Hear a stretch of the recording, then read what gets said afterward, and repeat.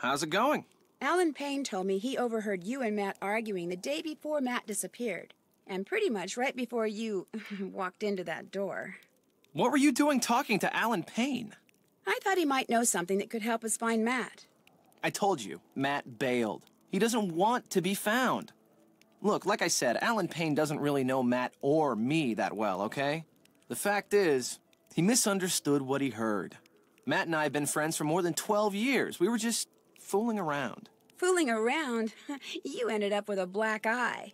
I told you that was an accident. I'm clumsy. What were you two talking about? I I forget. That's how inconsequential it was. Hey, I just remembered. Kyla wants me to do the seating chart for the wedding dinner. Like I said, I can't bring myself to tell her there's not going to be a wedding. Anyway, I need to get to work on it, so you're gonna have to excuse me. Of course, you could always give it a shot. You just have to figure out where each guest should sit by taking into account their needs and preferences. What do you say? Sure, I can do that. Excellent. Just fill it out and bring it back to me when you think you've got everyone sitting in the right place.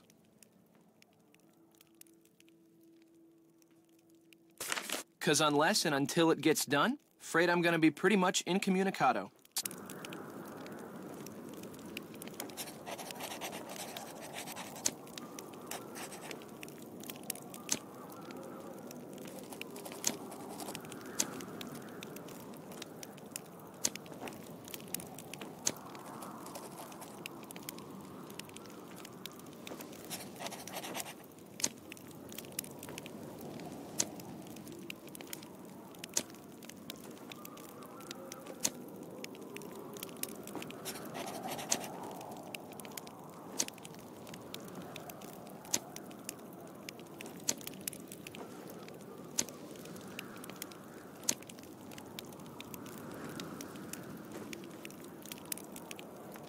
How's the seating chart coming?